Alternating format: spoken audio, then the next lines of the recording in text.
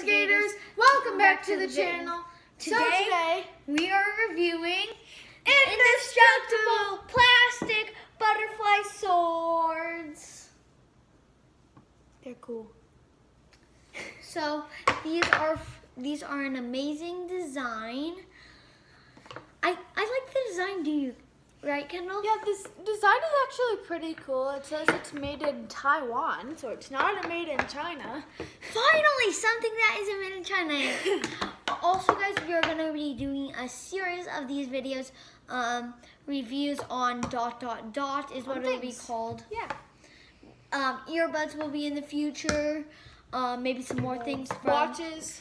KarateMart.com is where we got these. Like we said, these are the indestructible plastic but- butterfly swords um, in a pair, and they are only $39.95. So if you round it, it's $40. Um, so let's check the reviews. Obviously, one is mine. Um, let's see, how do I check the reviews? Reviews, okay. So, um, K R Y S said, I don't know, uh, bought these for cosplay and I like them. And I, BDA Fun, wrote, got these for Christmas and I use them a ton. Amazing product. We both, so they are a five star review. I, um, I mean, nothing is actually indestructible. So, um, at some point, these aren't gonna break, break, but like they can break if you like saw them or something. Hey guys, so I really like the design. I don't know if you guys can see it on camera, but there's like this like cloud design, and I also like the like sharp point design. Um, and like this wind design is also pretty sick.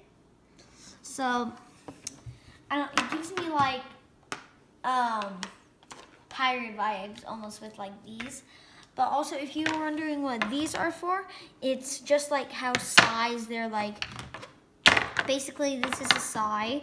They have two of them on each side, but like sais have um these to like, so they're to catch the opponent's weapon and lock it, but also they can bring it out, but still like.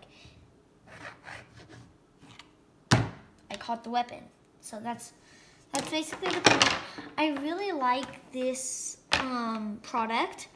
Um, if you guys want to see more stuff from KarateMart.com, comment down below and also comment down below what you want to see. We'll see you in the next um, part of the series of this. Let's end with a best Bestigator Punch.